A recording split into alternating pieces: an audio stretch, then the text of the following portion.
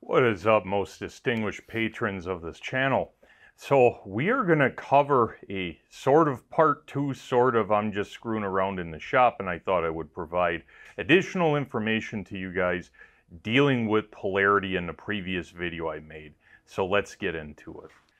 So, this video is sort of in a response to both myself as well as a ton of the comments that I got on the polarity video I just released, which if you're watching this and you have not seen that video, watch that one first, link in the description. So anyways, back to what we're talking about. We covered a ton of polarity with stick welding, with TIG welding, with MIG welding in the previous video, and I had an immense amount of comments uh, well, really good comments too, by the way. Some disagreements over things, and I thought I was selling that video a little bit short. And in fact, I didn't do a cut and etch and kind of just made statements such as, well, DCEN with stick has less penetration than DCEP. Some of you disagree with that. Well, I'm going to prove today that that is the case, among other things, but I'm also going to explain why. So that's kind of the premise of what we're doing here. And I'm between shooting videos on TIG welding and I thought, well, what better time to do it than now since I have a little bit of downtime. So anyway, speaking of stick welding, I have two 6013 rods in front of us. In the first part of this video, we're going to run one rod on DCEP and one rod on DCEN, and we're going to cut and etch them and look at the penetration. Now, I'm going to make a bold prediction, and very rarely am I wrong when I make a prediction, but hey, it can happen. DCEP will have more penetration than DCEN. Now, if you watch my polarity video, that might be slightly confusing because DCEN polarity produces a narrower arc cone. And you would think that a narrow, more focused arc cone would mean more penetration. The problem is, is that in a case of stick welding, that is simply not the case. And uh, welding in general is one of these things that it's kind of full of enigmas and puzzles. And what I mean by that is what works for one process is not what works for all processes. And a prime example would be TIG welding. TIG welding, if you were to try and weld on DCEP, well, first off, you're going to smoke your tungsten, but say the tungsten didn't melt, you're going to have less penetration. We know that because when you weld aluminum, you have massively less penetration on AC than you do on DC with helium. Now, part of that is the helium gas, but part of it is with TIG, electrode negative produces more penetration. So the question is, well, why wouldn't that be the case with stick welding? And it's actually a somewhat of a complex reason, but I'll give you my understanding. So when you weld DCEP, the very tip of this rod is melting off and more or less throwing droplets across the arc gap onto your molten pool, okay? When you weld on DCEN, the tip of the rod does not get very hot. You more or less have an established arc, but it's not throwing super hot molten metal across the arc. Therefore, two things. One, what little bit of force you have from those droplets jumping across the arc gap is gone. And two, the metal that does cross the arc gap from the rod tip is not nearly as hot or nearly as much volume on negative versus positive polarity. Therefore, what ends up happening is your weld will beat up like caulk. So with stick welding, even though the electrode negative, which you can run 6013 on, produces a narrower, more focused arc, it's actually less useful for stick welding because of how much the molten metal sits on top of the plate and now you have to weld through that. One of the things you guys got to keep in mind is that all welding processes that are done by hand, anyways, have very limited penetration. And if you're trying to weld through, say, a quarter inch thick of molten metal that isn't spreading out, what ends up happening is you lose penetration. So it's not so much that the negative arc doesn't penetrate deeper, it's that the way the bead sits, you have to weld through a thicker bead, which is going to limit how much penetration you have because you're more or less just welding on top of the weld per se. And I think that's the primary reason why it has less penetration. Now, I'm only doing flat plate and we're going to cut and etch it. I have a feeling, and as a matter of fact, I know for a fact because I've done this in the past, I've welded a fillet weld DCEN and the results are even worse on a fillet weld because you guys got to remember you have a 90 degree corner that somewhat limits the ability of the weld to flow out. Well, guess what? When you weld it on negative, where it's more or less confined to a smaller area, you're now welding through even thicker of a molten pool than you would have on negative, so your penetration is even less. And that is why 6013, especially in 1 16th rods, the little sparklers, are commonly run DC electrode negative because it limits penetration and it can get you out of a tight spot welding holes in sheet metal on negative polarity. So with that said, let's go and run two welds, cut them, etch them, talk about the results, and I will also, after that's done, do MIG welding and, and show that.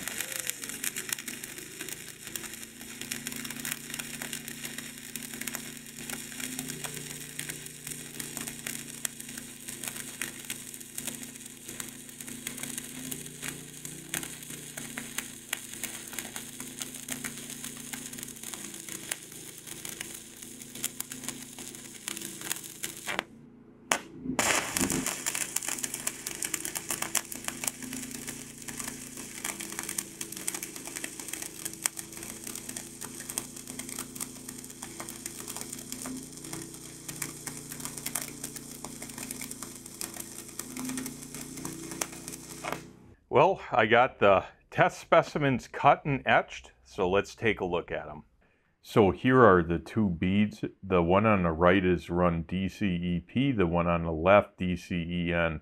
We're quite a bit zoomed in here, so it looks rougher than it actually looks in person. The DCEN weld is slightly narrower overall, and the weld pool didn't seem to wet out as good. Here's a cut and etch.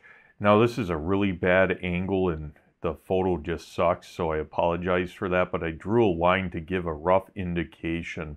And it's going to be pretty hard to tell, but the DCEP has slightly better penetration, approximately a 32nd of an inch, maybe a little bit more.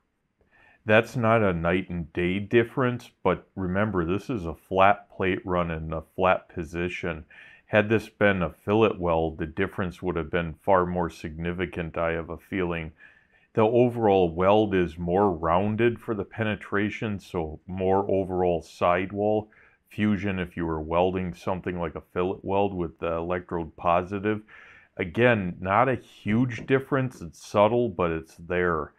Now, MIG on the other hand, let's look at that. I'm going to run two beads just like I did on this test.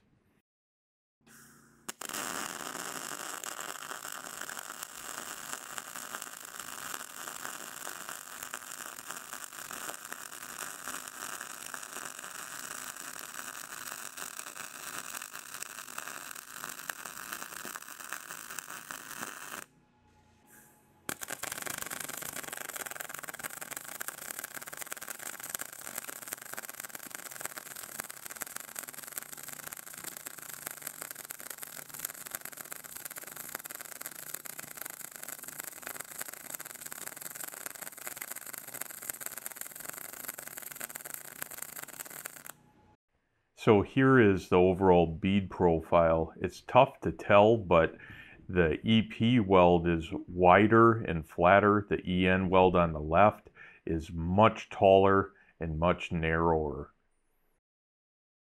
And here on the cut and etch, we got a massive difference. This is probably one of the biggest differences I've ever seen doing a cut and etch. And keep in mind, the plate was preheated because I ran that pass on the right with the EP and then I ran the EN right afterwards. So if anything, it's the best case scenario. And this is an exact example of why you have to have the right polarity for short circuit MIG to work. Now in theory, could you run EN on auto body or something really thin? I suppose you could, but with a good welder, a really good MIG welder can, with 023, 024 wire can weld 22 gauge without blowing a hole on EP, so I don't really see much of a reason to run EN. And keep in mind, the same weld metal roughly was deposited, but look at how high it was. It didn't wet out and it just stacked on there, and that would be extra material you have to remove. This is far more significant of a difference in the stick welding, but keep in mind that the process has far better penetration than 6013 does. When you run stick rods like 7018 on EN, the difference is actually far more noticeable, I think, than what you're going to find with the 6013 rods. Well, anyways, let's move on. So, did those results surprise you at all? Probably not for most of you. Some of you it might have. And the truth is, is that I've done quite a number of tests like this long before I ever had a channel just to experiment on my own. And I've been well aware of this phenomenon, not just in my own tests, but also in reading in literature from Miller Electric and Lincoln Electric and all of those, okay? And this is fairly well known. Now, there's some caveats to this that I didn't talk about. So, a couple readers likely from over in UK where you guys have a lot of different kinds of 6013 suggested that certain rods are designed to run DCEN. Now, I can tell you for me personally in the United States, there are no rods that are conventionally available that are labeled for DCEN that I'm aware of. Okay, it just doesn't exist. Now, plenty of rods will run on that, but sold to you as a consumer for the sole purpose of running on EN, that doesn't exist here in this country. And due to how stick welding as well as MIG welding works, I fail to see how running electrode negative in any circumstance with stick or gas shielded MIG would result in more penetration. I just don't see that happening. Your results may be different. Now, this really goes to show how important it is to actually test your stuff because you saw what I got today with my welders. Hey, if you do a test and somehow you get different results, I'll be honest, I don't think you're going to, but so be it. That's the importance of doing stuff and verifying. One of the issues I found when I was learning to weld is what I call misinformation. Now, I have made mistakes and said certain things on this channel that I'm sure are wrong. And that's why, well, it's important to read the comments where smarter people than me will add things to what I said, and that will give you the big picture because you want the big picture. You know, I can only share what I know to the extent of my knowledge. There's far more knowledgeable people out there that contribute to this channel, so it's important to read that.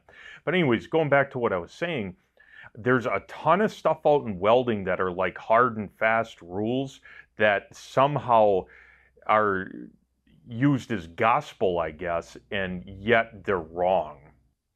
Probably the best example of that is I can't count how many times people have told me personally that I need to push my weld with MIG in order to get better penetration. Yet, in every test I've done, as well as virtually all tests that everyone else has done, shows the exact opposite that pulling at a minimum slightly increases penetration. And that's a great example because, well, the, the internet isn't always right, just like I'm not always right. And that's why it is so important that you test your results because you can't go by what a weld looks like.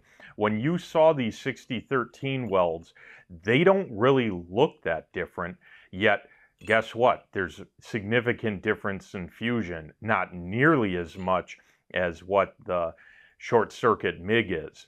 Now, just on a visual observation, this tall ropey bead profile doesn't look good, and you would probably say, hey, that's a cold bead. Yet it was the same settings for both of these. And had someone stacked multiple of these welds on something, you might not notice that ropiness, especially because you got to remember, I pulled these welds. I did not push them. Had I pushed it, it probably would have had a little bit flatter of a profile, and you might not realize how bad the fusion really is until you actually did a cut and etch. So it's imperative that you test stuff yourself. In order to finish this video off, let's talk about all the processes and the polarity they run on. So anyways, here's a simple chart we're going to fill out quickly that explains polarity of what you would use. So we have DCEP, DCEN, and AC. So stick welding, DCEP is the primary polarity. That is known as reverse polarity. The electrons are hitting the tip of the rod. The rod tip is getting very hot and it's spraying or more or less globular transferring large amounts of metal. This is the preferred polarity. Stick welding 7018, 6013, 7014, and 60 10 and 11. All of those primarily run on DCEP. 60 13 can also run on DCEN and it can also run on AC. Get that crammed in there. 7018 can also run on AC. However, pro tip to you guys, if you don't buy the 7018 AC rods, some of the 7018s don't run that well. So you tombstone welders, avoid the just willy-nilly any brand 7018 odds are it probably won't run properly. So if you're on AC only get the AC 7018 rods.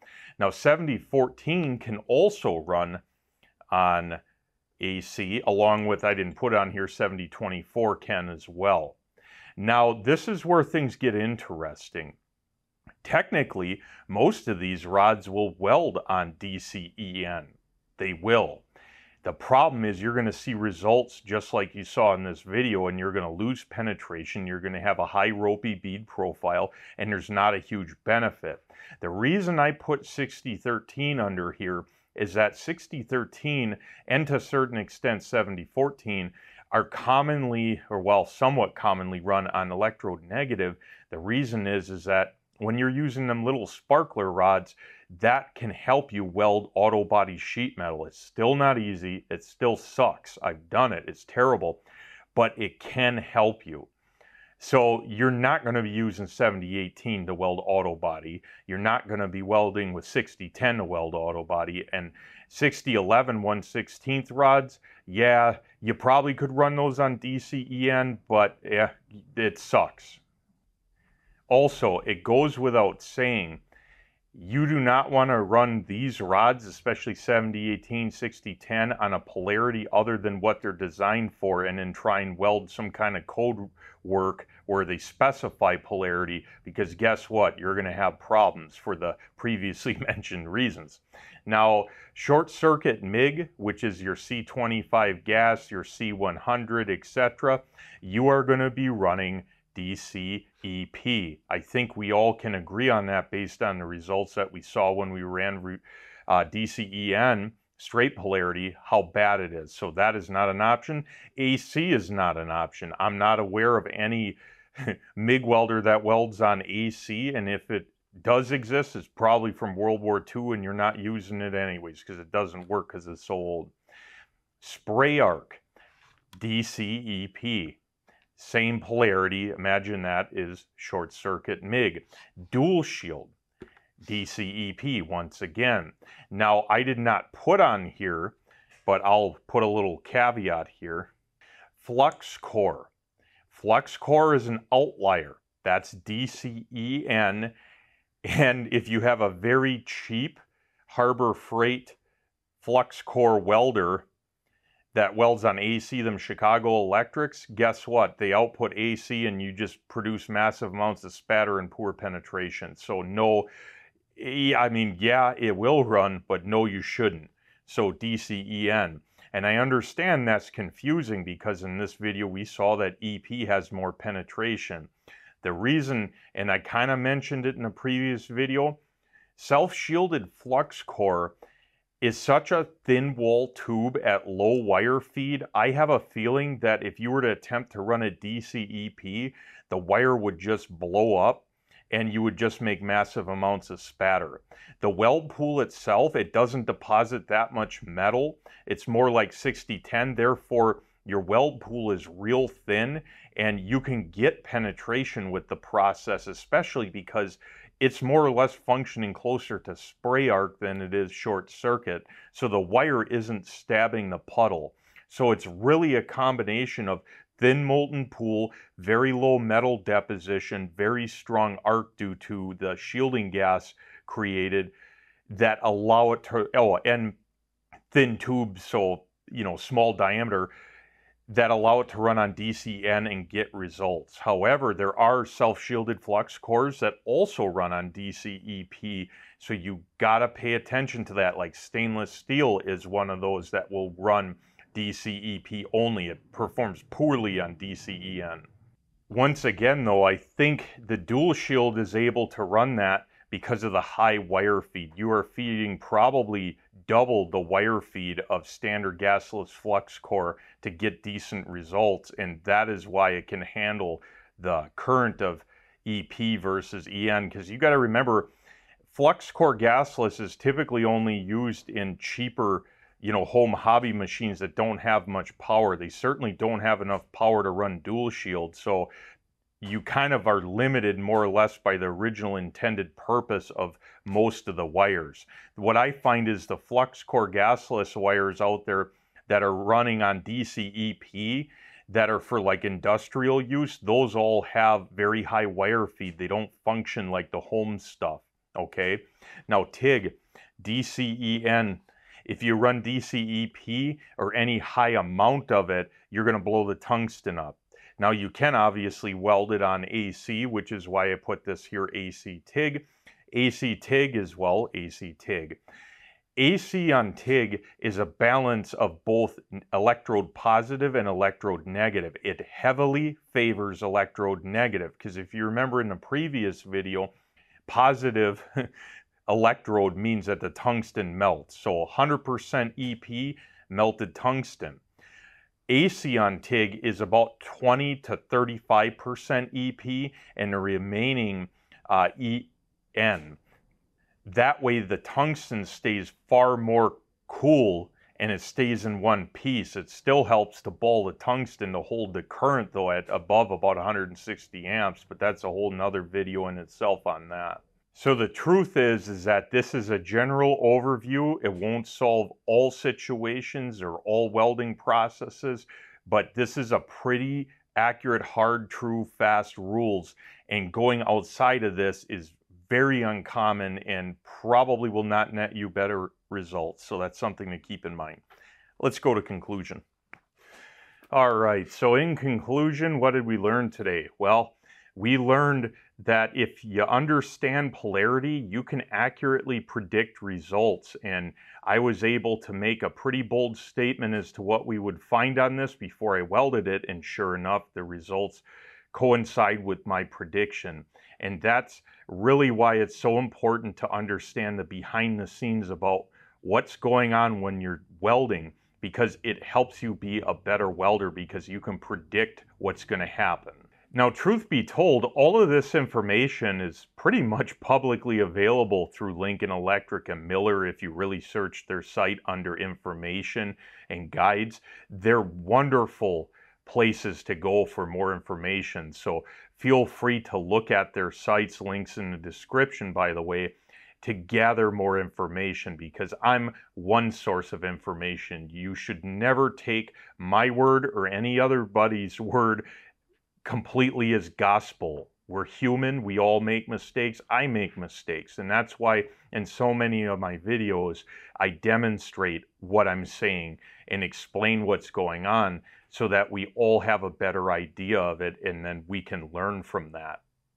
Because I personally find it pretty boring to just read what happens about something like running DCEN with MIG, it's it's so much more fun to try it, and that's why I encourage you guys to try opposite polarity of what you would normally use with your welding process and you'll find out in a very quick hurry why every welding process has a preferred polarity.